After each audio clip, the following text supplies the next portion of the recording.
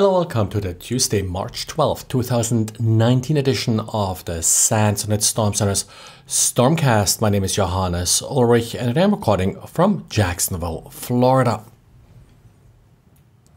Of course, DevOps is the way to develop software these days, and part of the DevOps paradigm is to automate a lot of actions. And there are a number of systems that can be used to automate, for example, the build process of software. And one tool that does this is Stackstorm. Stackstorm is sort of event based, so you can code basically if something happens, then do something else in order to, for example, keep software built or run it through different checks and balances before actually building it or making it live.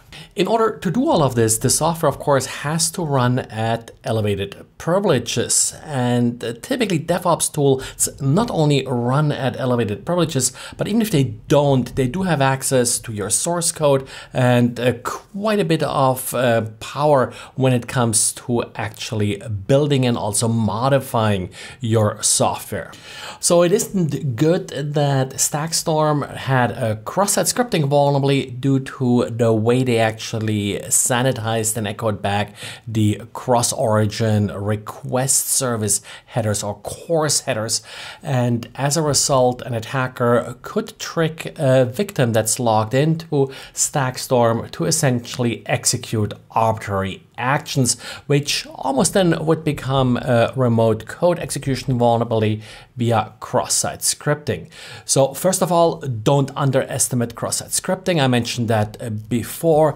And then watch these DevOps tools. Uh, I think this is there's really still a lot more to come. We already have seen some vulnerabilities in other popular tools like Jenkins and the like. So uh, access to these tools should be tightly controlled and also make sure that you monitor how these tools are being used. And researchers at the University of Bonn in Germany did an interesting study looking at the code quality from different freelance developers. And in order to conduct this study, they set up a task on freelancer.org, which by all accounts is a cheaper, sort of low end site where you can get people to write code for you. Now, the task they gave them was to essentially write a system to store passwords. So a system with some very obvious security implications.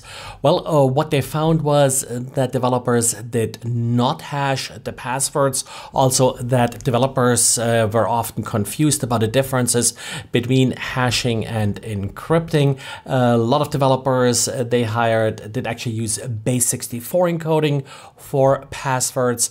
And probably most interesting was that the security quality of the code did not really depend on how much developer was paid, but granted, I don't think the payment was what I would sort of really consider market rate. The top payment uh, being offered for this particular task was uh, 200 euro.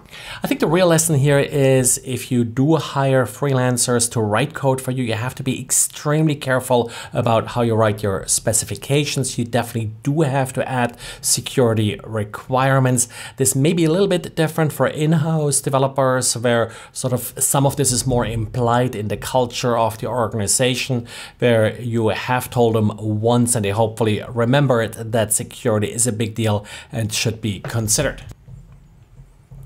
And talking about developers, ESET has an interesting story about some malware they looked into that apparently was targeting developers at Asian online game manufacturers. Now, online gaming is always in the crosshairs of attackers, lots of bad stuff going on there, uh, but in this case, they targeted specifically the developers, essentially launching a supply chain attack in order to then affect the software being written by these developers. The end effect is that software written by these developers includes a backdoor that will then download additional malware. What's in particular bad here is that one company in particular in Thailand was not responding to any reports about this attack being sent to them by ESET. Well, that's it for today. Thanks for listening and talk to you again tomorrow.